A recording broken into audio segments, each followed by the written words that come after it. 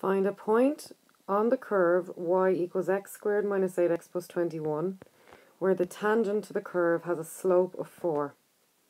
So the very first thing that we want to notice is that we're looking for a point. So our final answer needs to be a coordinate with an x value and a y value.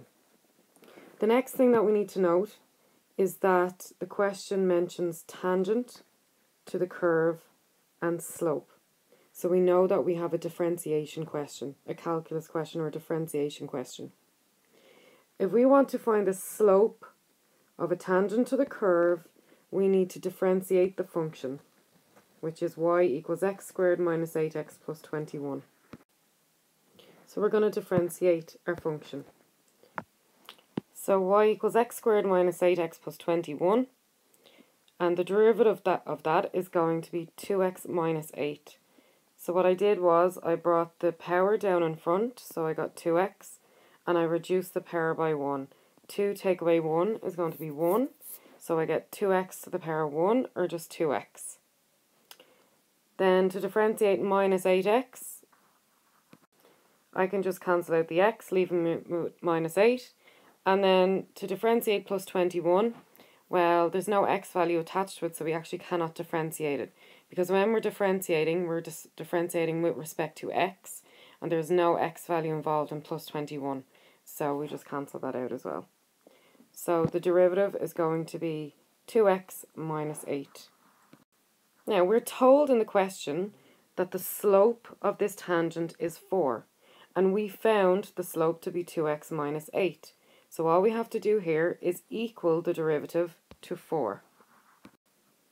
Once we have it equal to 4, we just have to solve for x.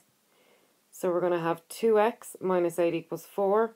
We're going to bring the minus 8 over the equal sign, and we're going to have plus 8 on the other side, giving us 2x is equal to 12. Next, we have to divide by 2 on both sides to get the x in its own, and 12 divided by 2 is going to give us 6. Now, we have to go back and read the question again.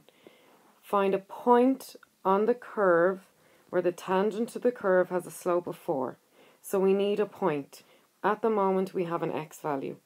So what we're going to do with that x value is substitute it back into the original equation. And that will give us the y value. It's very, very important we do not sub this into the derivative. We sub it into the original function. So our original function is y equals x squared minus 8x plus 21. So we substitute in 6 in place of both x's, which gives us 36 minus 48 plus 21, which gives us y is equal to 9. Now again, we are asked to find a point on the curve, so we put our x value together with our y value to get our coordinate.